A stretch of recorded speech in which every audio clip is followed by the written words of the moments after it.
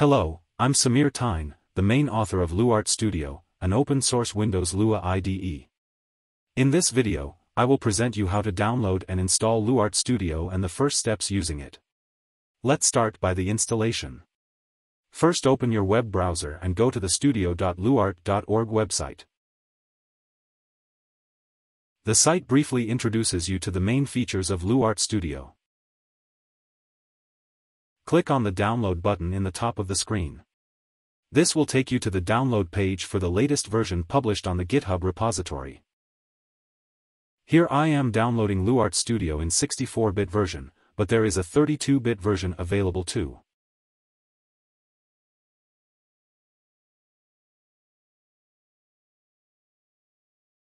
Once done, go to the Downloads directory and open the zip file. You can see a zip directory named LuaRT Studio. Extract it wherever you want on your hard drive.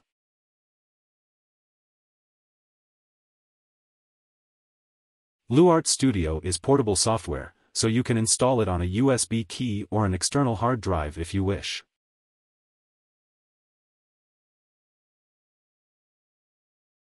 To uninstall LuaRT Studio, simply delete the directory where you installed it. Now let's go to the directory and launch the IDE for the first time, by clicking on the executable file named LuaRT Studio. Since LuaRT Studio is not a Microsoft certified and signed executable, the smart screen will mark the application as unrecognized on first start. Don't be afraid of that, you can check the VirusTotal scan result on the download page if you prefer before proceeding. To continue and start the IDE, simply click More Info, then click Run Anyway to continue and start the IDE.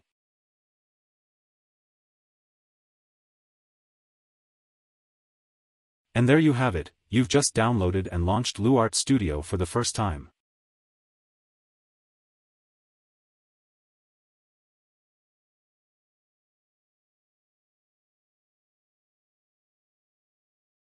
The main menu is rather simple. The File menu allows you to open, save and close files. The Edit menu contains source code editing, clipboard, and bookmark functions. The search menu contains search and replace functionality.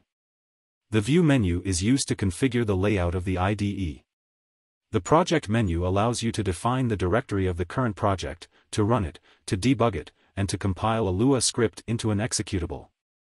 And finally the help menu provides help on how the IDE works. The toolbar contains the main commands we have just seen. Here we have the main source code editing area. Each tab contains the source code of an open file in the editor. The bottom area of the IDE contains three tabs. The first is the Output tab which contains the IDE messages following the execution of a command. The Lua Interpreter tab is a Lua console that allows you to execute statements and evaluate Lua expressions. It allows you to test pieces of code easily. The Markers tab gathers all the markers that are located in the code editor margin. They can be breakpoints or code area markers you want to remember. Now it's time to run some code. Enter the following code in the editor. Look at the various aids offered in the form of tooltips while you type on the keyboard.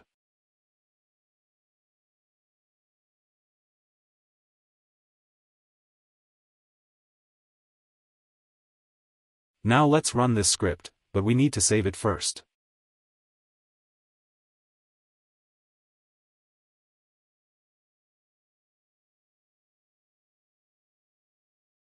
You can see the message, Hello World written in the Output tab. Congratulations, you have just run your first Lua application. Now let's try to set a breakpoint by clicking on the margin of the editor. The breakpoint appears well in the Markers tab. Let's run a debugging session. You notice that the execution stops at the breakpoint, before the message is displayed in the Output tab. This LuaRT Studio tutorial is coming to an end. Thank you for watching.